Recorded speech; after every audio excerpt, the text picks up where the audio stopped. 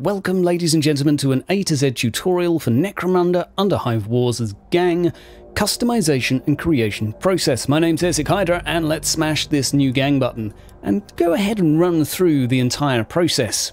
So if we kick things off by looking at the new gang screen, we can see we have House Escher over on the left hand side here, House Goliath in the middle and House Orlok on the right. Now I'm not going to go through every single one of these numbers telling you exactly what I think of all of them. This is just an outline of how to create a gang, but it's safe to say that the house perk and the bonus stats apply to every single member of your gang, so something really worth noting as it will have a large impact on your playstyle.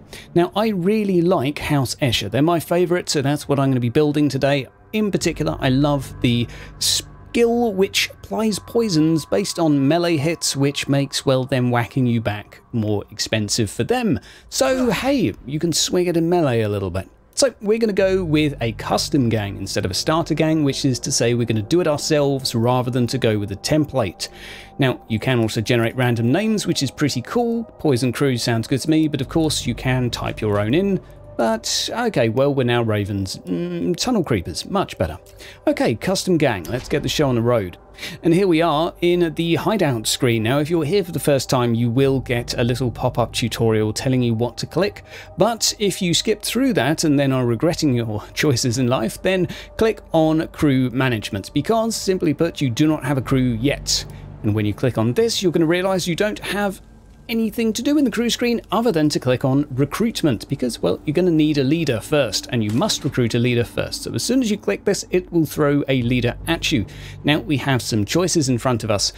When it comes to the leader, so by clicking on the leader in the top right here, you can see that you don't have a choice of ranks. This is because the starting rank for the leader has basically rank 5 from the off. So what this means, well, we'll come to that in a minute when we come to perks. When it comes to recruiting the other gangers, you will have a choice as to how much you want to spend on them and how good they are. But we're just going to go with the leader, which is the only thing you can choose, and then we're going to choose a career for them. So we have Deadeye, we have Brawler, we have Heavy, we have Saboteur, and we have Lay Mechanic.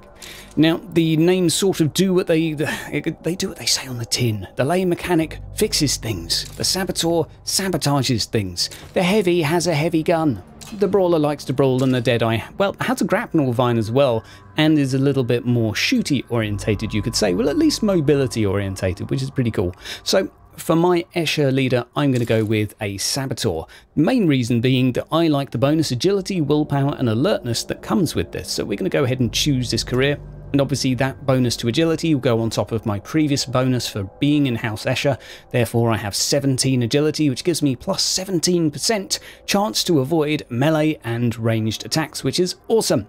And as well as that, we have pretty high willpower and pretty decent melee. Now, if you want a very brief overview as to what these stats do, agility is effectively evasion, strength is melee penetration, so how well you get through armor and how likely you are to stun by mitigating stun resist. Toughness is more healing received and critical resistance. Willpower is resistance to stress and debuffs. Intelligence is ranged penetration, which is a pretty cool stat, as well as experience bonus per mission, which is cool. Alertness increases your chance to deflect hits, reducing the amount of damage they do by quite a lot, and obviously the initiative order. Melee prowess is a chance of dealing proper hits instead of grazing hits to an enemy, which is very relevant because when you do a grazing hit, it doesn't do a lot, and uh, the chance to avoid an enemy evasion. Same for ranged as to melee, but obviously with a ranged weapon and accuracy is critical hit chance, so there you go. Now, for the really exciting stuff, and there is a lot more customization soon, but we're going to go for this face. That looks a little bit like... Could that be Eva Green? No, not really, not at all. I'm thinking of Azeleb, but I can't think. Anyway, um, so now we can choose what they look like. We can choose them to be a little bit more chunky. We can go very, very slender. Now, I want the agility bonus, despite the fact that it makes me look a little bit on the weedy side. But hey, I could be a catwalk bottle. Strength is pretty cool. It's not a melee character though, so we're going to go agility because that puts our agility even higher. It's why we're already on 17, because it started with agility. Then we can make her, oh, we'll go for observant. So she's going to have lots and lots of alertness as well, and it increases the max alertness too, which is pretty useful. It's something you can aim for. Now, we could go for melee prowess here. She's, she's, she's looking pretty reasonable for a melee fighter still, even though she's currently carrying a flamer. Sure, we're going to have a melee saboteur. Why not? We, you could do whatever you like. So we're going to hire this fighter by holding the button down here. There is a fighter. Now, let me run through the process again, and this time it's going to be a little bit more swanky because we're going to recruit a competent Juve. And this is going to cost us 350. And we have 500 left in total, so we started with 650. Obviously, we spent 150 on the leader. Now, now we're going to be spending 350 on a competent Juve. So we're going to go ahead and recruit, and they do come with an injury. Now, this varies depending on your recruitment. So if I change class, you might find that disappears. So this is, as far as I can tell, a little bit randomly generated, which is pretty cool. So we're going to go with a heavy because I think, no, we're going to go with a brawler. We're going to go with a brawler because I think brawlers are cool. So firstly, we need to change the weapon. Well, no, no, no, not firstly. Firstly, we need to do some face things. Um, miserable, miserable, content, curious. We'll go with curious. Uh, we're back to having an injury again. But, oh, hey, we'll, we'll just cope with having an injury for the sake of science. So now we're going to click on this fighter and I'm going to show you what you can do with your 500 experience. So we're going to need to go to the next screen because there's not much to do on here other than rename her or lay her off. We could promote her to leader after a bit of experience, but for now, this is pretty much all we can do, other than point out that we don't have a virtue, vice or talent yet. They develop randomly after you reach rank 5. We're currently rank 1. And let me show you on that note how to rank up. Now what these things do, well they're random and who knows what they could be. It could be being immune to injuries for a certain body type. It could be that you're incredibly stubborn and you can't disengage anymore. It could be anything. I haven't actually seen the disengage one, that was just a guess. Right, so we go to stats now and this is where we level up we look in the top left side of the screen here, there are two empty circles. That means you need to buy two things in order to reach the next rank. So we're rank 0 right now. I want to have better melee prowess, so we'll buy two of them, and now I've ranked up to rank 1. So I'm a little bit closer to unlocking my first random thing as well. Now why do you want to do that? Well, because the first active and passive slot Yes, that's right, you get it at rank 1 another at rank 2, 3, 4, 5. The leader starts off with all available, so you can start kitting them out pretty quickly with lots of actives and passives, which makes them cool, but you're going to have to get some experience for them to do that. So just before I buy some more things, I'm going to go ahead and up this a little bit. We'll go for a little bit more agility, and that'll do for now. So now we're another rank, we can go on the perk screen and start going for some passives. Now I'm going to go for Enrage. There's lots to choose from. You can go from your brawler specific ones, your gang specific ones, or your Juve specific ones. Now it doesn't seem like there's loads, but there is a fair choice enough, and I would say all of them seem to have a use, unlike many situations I've seen where the majority of skills don't do anything. Most of them in this seem to seem to do something notable. So, daunting presence, for example, makes it harder for people to disengage from you. You've got fury, which makes it harder for enemies to avoid your hits. We go to another screen. Let's go chem chaser. 20% stress resistance after you've used a support consumable, and you can have all all sorts of things here. All sorts of things. I'm going to go for a little bit of Galvanize because that's pretty cool. So bypasses melee evasion. Basically, after you've done an Intimidation, Carry or War Cry, you bypass the enemy's chance of dodging. So that's cool. We're going to go for that because, funnily enough, I'm going to go for Intimidation because this is really cool. Plus 35% chance, uh, cost rather, to all tactical skills. Now, is there anything better than that? I actually think there is. Uh, where are you? You're here somewhere. And there, there's some really cool ones. I, I, like intimidation, so it basically means enemies are going to have a hard time doing tactical skills near you. We'll cover that in the gameplay videos, actually what that is. Uh, we're going to go for, okay, we'll go for this, which is terrorize. So enemies are less likely to hit in melee, 35% around you, or with a ranged attack, provided they're within 10 meters of you. That's pretty reasonable though, so we'll go for that. Job done. So we'll go and have another look here. Daunting Presence, what does that do? Plus 5 disengage? Nah, we'll go for Enrage. Now, if you want to upgrade a skill, let's go back to Enrage. You'll see you have some prerequisites down here. We'll need 8 toughness in order to spend 50 to upgrade that again. So if we go to our toughness, upgrade that to 8. There we go. Now we've got an extra slot as well, so we, we could be here a little while, but I'm not going to do all of this. That will that will probably do for now. Okay, and then we've upgraded this. Now, you're probably asking, okay, well, what else can I do, Hydra? And it, it's also worth pointing out on the leader that you have access to a lot more different skills. Now, I'm not going to sit here and go through all of them, although I'm sure many of you want me to, so you can sort of pick away and see exactly what's in the game. That's for another video when we go through the skills. But for now, we're going to need to equip people differently because that doesn't look like an Escher fighter to me. So we'll go to equipment here, click on the weapon, we're going to stick that in the stash with the Q button.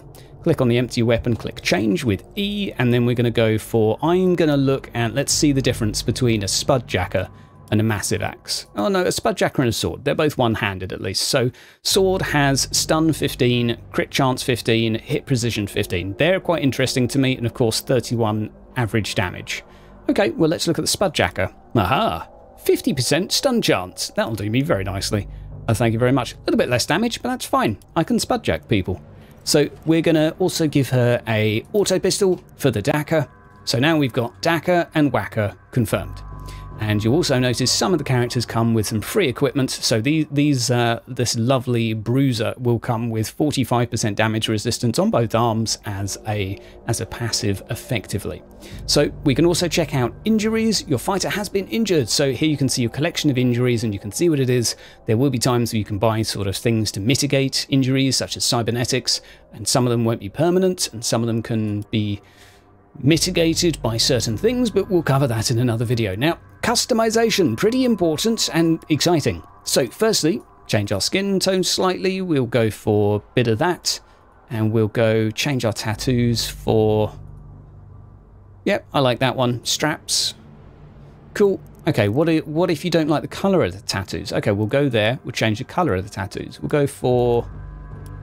Oof, that's a horrible colour scheme. So if you don't like the color palettes on here, the presets, you click on the right hand side to advanced and then you can pick the exactly the color you like. We're going to clash all over the damn show and you can just do whatever you like here and, and you could spend a lot of time doing this. You can go ahead and do, oh, I like those boots. Oof, where are we going to stop? Yeah, that's kind of cool. Show off a bit of the thigh tat. Right, there we go. Change up definitely bullets on the back. That's where you want them. Okay, and then we go back. Now what you can do is apply to gang. Ta-da! And now everyone in my gang, unfortunately, save and continue, looks as disastrous as I do. Now, there is another way of customizing your visuals for the gang just by clicking gang customization. Now I actually have a gang and you can just do all here. You can change your name, you can change the hair. We'll go for, that looks pretty horrendous, so we'll go for that and you can change again. General appearance here. Good lord, that is disgusting. Let's go with that. And of course, this wouldn't be Necromunda if you couldn't choose the exact colours of your guns as well. So there is a ridiculous amount of customization in this, down to even the patterns on the weapons themselves. Two-handed weapon, let's see, we'll go for that and we'll go for... Uh, says dragon scales, but oh yeah, the big scales and sideways. Okay, I, I'm, I'm down. Okay, no, we'll go for we'll go for cat. Yeah, sure. There you go. Job done. Uh, no, I, I need to keep my changes. There we go. Right, now I've offended everyone's eye sockets. I hope you have enjoyed this tutorial and overview of the gang creation process. After you have recruited your fighters, and it is worth mentioning at this point, you will have enough money to recruit three or four, depending if you want one of them to be experienced. So the way I've done this, effectively I can afford three because I spent Tree Fiddy on one of my characters. If I hadn't have done so and I'd recruited a cheap one, I would start with four. Do I have a recommendation for you? No. Do whatever you want to do and have fun. That's priority. Now, you could go to the shop. However, you have to play two missions first before you can go dibbling and dabbling around in the shop. You will notice that when you start, you will have some provisions within your starting equipment. So that's worth noting because you don't have to have exactly what you start with, and you will have enough stuff. Add provisions. We can add some jolt seed into my backpack by pressing E here. So there you go. You can equip your characters in terms of their, their backpacks too, give them spare weapons that they will have access to. It'll cost you some action economy, but that's what you can do. I absolutely love it. Hope you found this interesting. There will be more videos coming from me on this in the next few days. Next, I'm probably going to do a combat overview over the weekend and give you guys a little run through on how to play the game, and then we're going to go into some sample builds, etc. Hopefully, have that with you very soon. If you're not subscribed and liking this video already, smash the like button, comment, do all the things down below in the comments. I will see you guys soon. Take care.